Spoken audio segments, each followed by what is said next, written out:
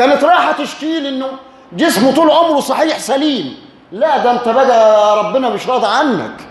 يبقى إذا أحب الله قوم ابتلاهم. فإحنا نصبر على اللي إحنا فيه. ما نتزعش ما هو كل يوم تجينا شكاوي. كل يوم ولد منغص حياة ابوه وامه ولد عاق.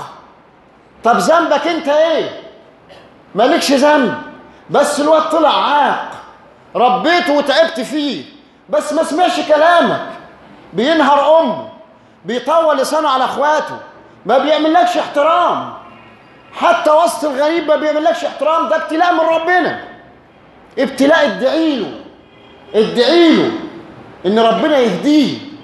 ما تدعاش عليه عشان ما ما ما, ما توديش في داهية. لأنك لو دعيت عليه راح منك. ادعي له إن ربنا يهديه.